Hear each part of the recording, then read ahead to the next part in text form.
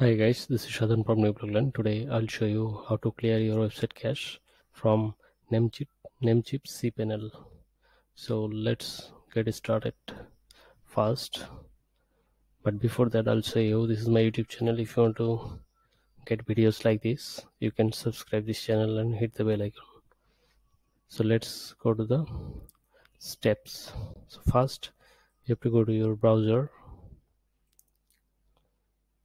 okay first I need to log in to my Namecheap account or cPanel okay this is the dashboard of my Namecheap cPanel so Namecheap dashboard account.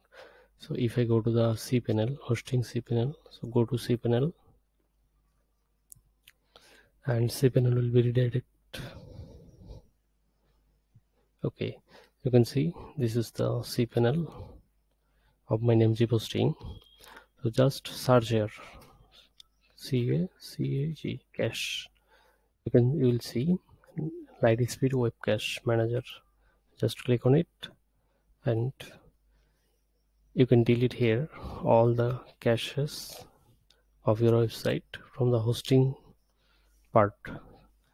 So I'll just click on flush all. And then okay. You can see a notification has a has been appeared.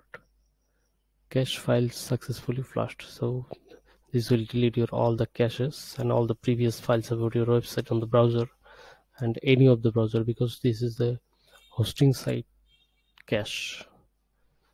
So this is how you can clear your caches from the hosting cpanel. So thank you so much guys. If you like this video please subscribe this channel and hit the bell icon. Thank you